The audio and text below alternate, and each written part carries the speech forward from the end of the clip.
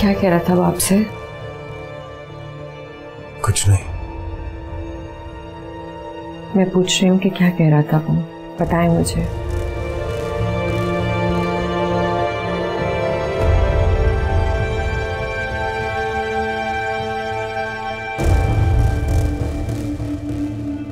जान सिर्फ़ रू निकलने पर ही नहीं जाती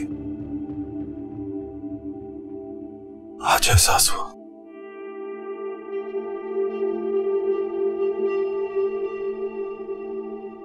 हमजा ने जब हरीम को छीनने की बात की तो ऐसे लगा जैसे मेरी सांस यहाँ अटक गई है। तुम्हें पता है?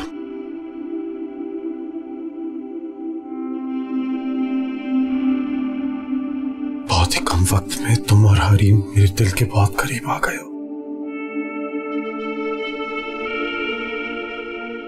मेरी साँसें रुक जाती हैं दूरी का सोचते ही।